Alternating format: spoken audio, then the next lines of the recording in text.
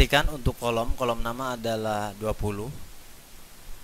Pada data view ada e, Anda lihat lebar untuk kolom variabel nama sekarang tampak lebar karena kita telah mengganti dari ukuran 8 menja ke menjadi ukuran 20. Oke, kita lanjutkan penentuan variabel ini. Selanjutnya yang kedua, variabel yang kedua misalnya gender. Nah, gender di sini tipe datanya kita pilih di sini numerik ya. Mengapa kita pilih numerik?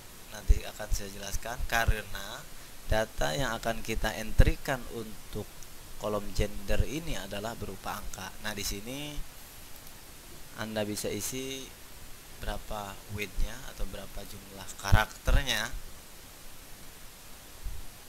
anda bisa mengikuti ukurannya default 8 ya karena ini tidak merubah. Nah, di sini desimalnya Anda bisa isi 2, berarti nanti kalau ada perhitungan ada dua angka di belakang koma. Namun akan lebih baik kita biar tidak bingung kita isi desimalnya kosong. Jadi nanti tidak ada angka-angka di belakang koma. Selanjutnya label atau keterangan dari variabel gender di sini adalah misalkan kita isi dengan jenis kelamin.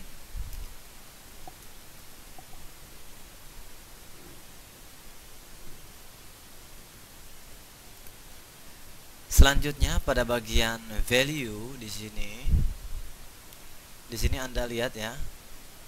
Value-nya di sini dari jenis kelamin ini mempunyai value yaitu pria dan wanita atau pria dan perempuan. Itulah mengapa di sini tipe dat tipe datanya numerik. Anda lihat? Mungkin Anda masih bingung mengapa jenis kelamin di sini numerik. Anda bisa melihatnya pada value di sini ya. Kita klik di sini pada kotak value labels di sini. Kita isi misalnya angka 1 dengan label misalnya pria. Lalu kita add Oke, lalu kita isi dua untuk label wanita atau perempuan. Lalu kita add.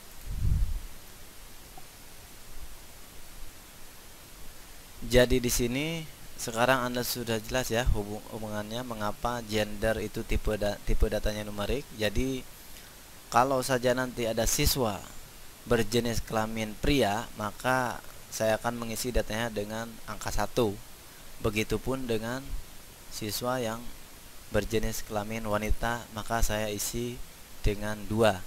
Jadi karena di sini adalah statistik, kita berhubungan dengan angka. Untuk itu kita pilih numerik. Oke. Di sini kita oke. Missingnya di sini non ya.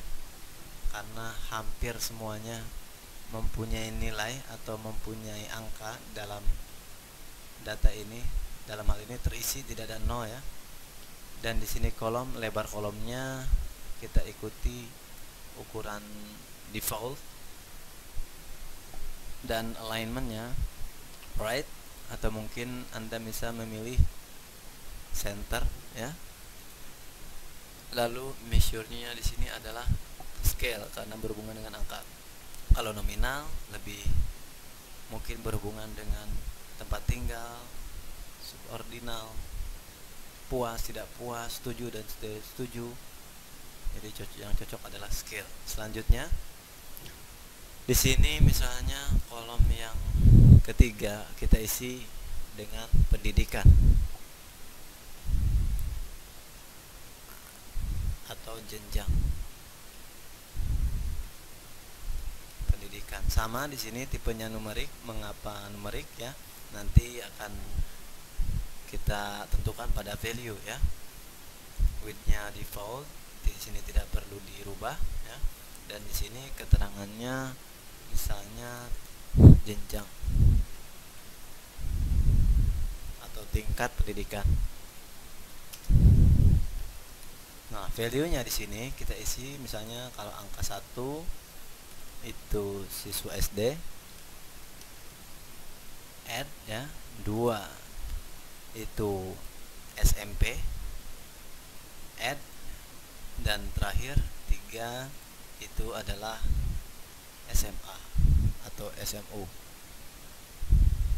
kita add oke jadi nanti kalau ada siswa Joko itu tingkat pendidikannya SD kita isi datanya dengan satu. Selanjutnya missing juga 6 ya nenon kolom sama di sini saya akan pilih lainnya center dan measure-nya adalah scale sama. Oke okay. uh, eh, di sini ada uh, apa dua angka di belakang koma 00 kita hilangkan saja. Uh, kurang enak dilihat. Nah seperti itu. Kira-kira.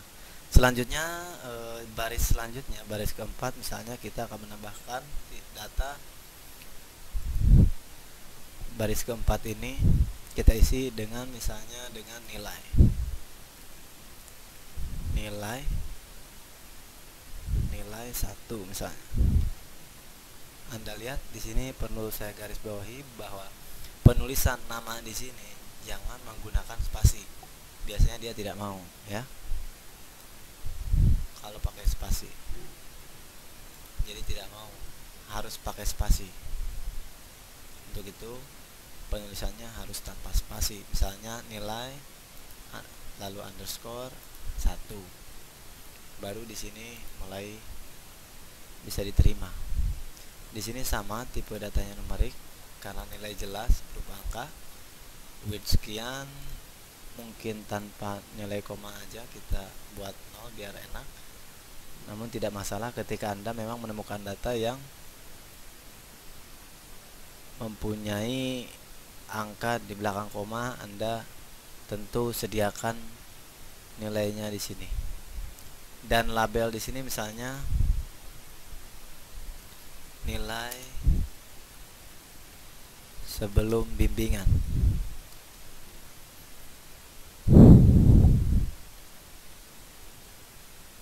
selanjutnya di sini ada value value nya none karena memang tidak ada kategori ya. Semua orang maka setiap orang memiliki nilai sendiri-sendiri. Missing juga di sini nol kolom sama di sini. Kita ikuti ukuran default di sini alignnya center dan measure-nya scale. Dan terakhir di sini nilai 2 nilai underscore 2 tipenya numerik sama kita hilangkan uh, angka di belakang komanya. Di sini labelnya atau keterangannya nilai sesudah bimbingan. Oke sama nan nan dan dan ini kita ganti center. Oke ini sudah cukup ya anda tentu bisa mencoba untuk membuat kategori yang lain. Misalnya Anda ingin mengetahui keefektivitas atau efektivitas dalam melakukan training pemasaran. Di sini Anda bisa di sini nama sales, jenis kelamin, pendidikan, SMA, sarjana atau diploma. Di sini nilainya atau misalkan selnya sebelum dia mengikuti training penjualannya per bulan berapa juta. Dan di sini nilai yang kedua misalnya mungkin nilai penjualan setelah mengikuti training. Jadi banyak sekali. Ini hanya sekedar contoh sebuah penelitian untuk melihat efektif atau tidak diadakannya bimbingan belajar matematika. Oke kita lihat pada data view oke di sini ada kolom nama kolom gender pendidikan nilai 1 dan nilai 2 Anda tinggal memasukkan